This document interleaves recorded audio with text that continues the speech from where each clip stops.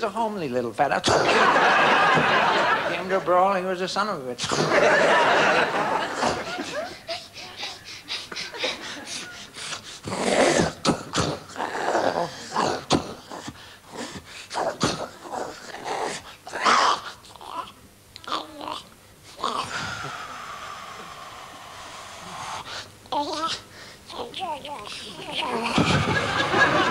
But then it was all over.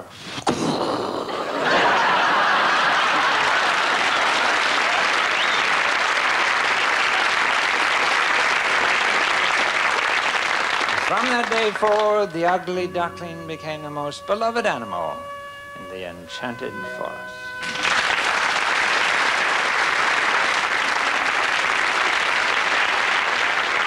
Ah, thank you.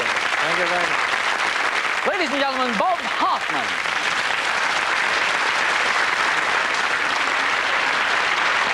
Nice. Very Bluebird, or a new Sunny.